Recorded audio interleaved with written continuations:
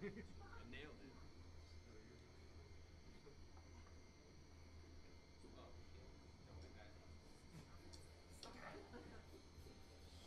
I'm in a